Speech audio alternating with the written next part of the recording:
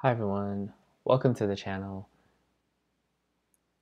If you're new, what we have on this channel is software engineering interview questions, run-throughs on how to solve them and how I solve them. And there are also videos on how to use different technologies. There's also extra content on my website to supplement software engineering interview questions and supplements in that it will include things as what I'm thinking about as I'm solving these problems and what mistakes I've made and what I'm doing to work on those mistakes. And yeah, I post those things because I think it will, I hope that it will help you all. And I also have my GitHub where all the source code on software engineering interview questions and the how to use various technologies will be there. And yeah, all of that will be in the link below. So if any of this sounds interesting or if you like watching my videos in the past, please, uh, yeah, the best way to support me is to like this video, to subscribe, and share with people who find it interesting. And definitely always leave feedback. It will help me improve, and I would love to improve to bring you all better content. Without further ado, let's get into it. So today we'll be looking at this problem called copy list with random pointer. And we have a linked list such that each node contains an additional random pointer which could point to any node in the list or null. And we want to return a deep copy of this list. And so here we see a couple examples and it says we need to return the copy of the given head as a reference to the cloned list. Okay. So basically with this problem, what we think about is the issue is when we have because we have a random pointer, it might point to something, a node that has not yet been created. And so that will make things a little bit more difficult. And the other thing is that when we create the next node, it's also possible that node has already been created by random. And so how we can solve this is we could have a hash map where the key is the old node and we'll hash the old node.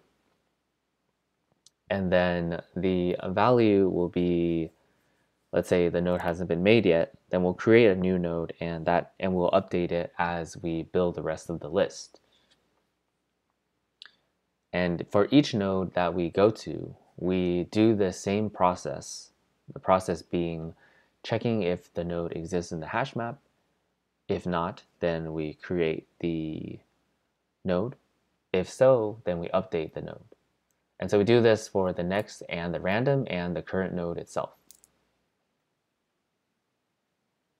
And so one thing that we have to keep in mind is an edge case is that we have a potential where the given linked list is empty. And so for that, we'll handle it with a default dict, where the default dict uh, takes in a function that returns if the key is not found, and we will return none if the if that is the case.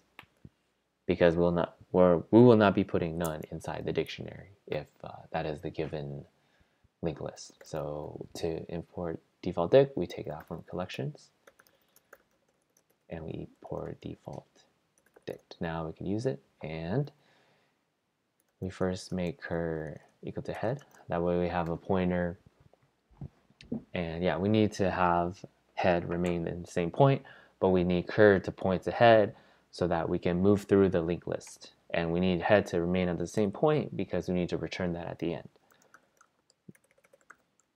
Now I make our hash map.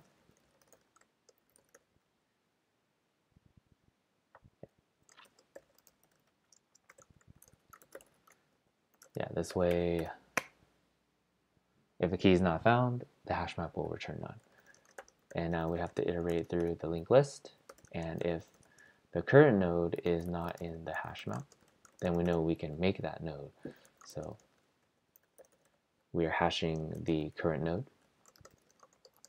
Then we look at the node definition in the node class definition. And so the first thing we feed in is the value. And we will initialize everything to none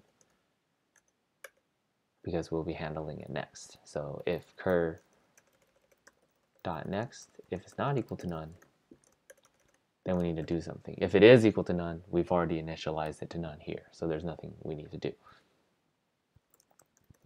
and we check if cur.next is not in the hash map. So pretty similar reasoning and logic. And if it's not in the hash map, then cur.next will be added to the hash map.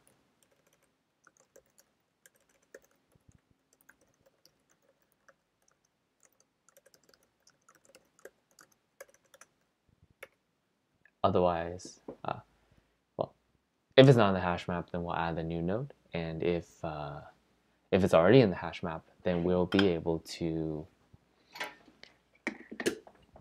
in the new node that we created, since it's a deep copy, we will be able to update the next node. So we go to hash map, and because we're operating on cur and we want to change next, then we can look in the hash map and we know that cur.next already exists. And it's similar reasoning for uh, random. And so we say if cur.random not equal to none, cur.random not in hash map. cur.random, we will hash that, and then we'll make a new node where the cur.random.val is the value, and then make everything else none. And then we know that cur.random is made, so we can update for hash map of cur.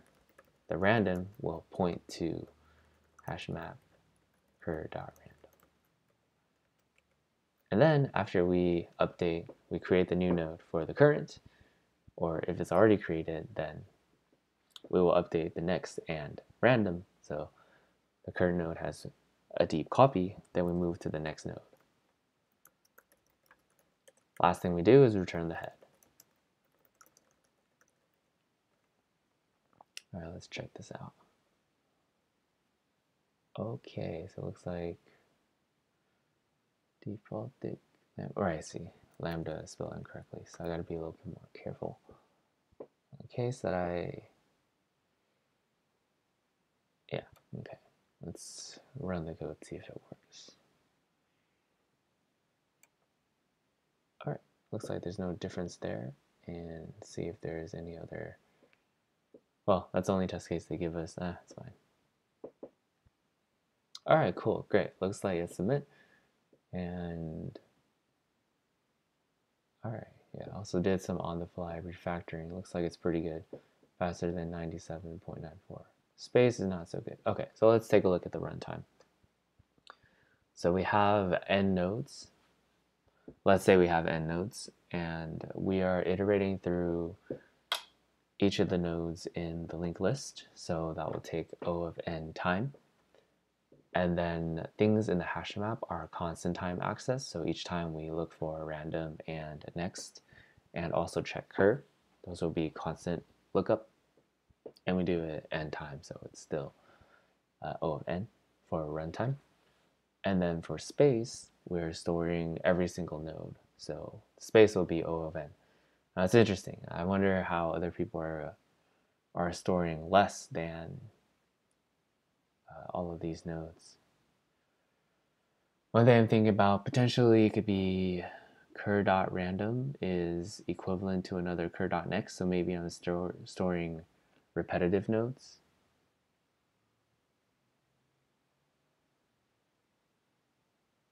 Yeah, that actually doesn't make sense. Well, that's something I'm not too sure about. So if you anyone has any ideas, please let me know in the comments below. Like, what can I do to speed up the space complexity? Yeah, and if I find out anything, I'll let you guys know on the website.